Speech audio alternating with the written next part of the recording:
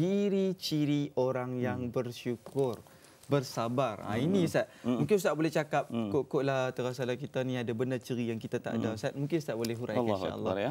Saya mungkin uh, cuba melihat apa yang dikatakan oleh Imam Fakhruddin Ar-Razi yeah.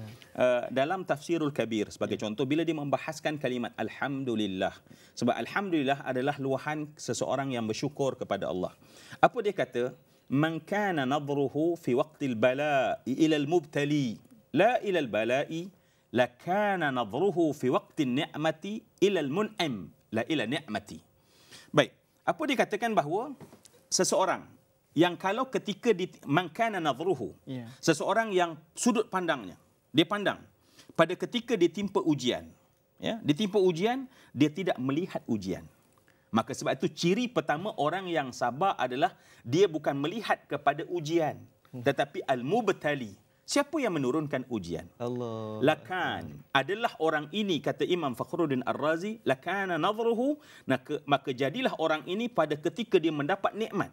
Maka pada ketika itu dia tidak melihat nikmat tetapi dia melihat kepada al-mun'im yang memberikan nikmat tersebut. Jadi kita dapati bahawa masya-Allah kalau kita nak tanya dan sebutkan tentang ciri orang yang boleh bersabar dan boleh bersyukur ialah dia tak tengok kepada ujian yang dia sedang datang, kesakitan yeah. yang dia datang. Mungkin orang-orang orang yang memberikan kesakitan tersebut, tetapi langsung dia melihat kepada al-mubtali, yakni Allah Subhanahu wa taala. Dan ketika itu dan seolah-olahnya tadi kan, yeah, yeah, yeah. Imam Fakhruddin mengatakan bahawa seolah-olah syukur itu lebih payah sebenarnya. Uh-huh. Sebab orang yang kena dia itu ketika dia sabar dia dapat melihat al-mubtali, uh-huh. pada ketika dia dapat nikmat, pada ketika itu barulah insya-Allah dia akan boleh melihat kepada al-mun'im. Yeah. Jadi sebab tu uh, termanya adalah uh, satu hmm. ujian, satu pemberi ujian, satu nikmat, satu pemberi nikmat.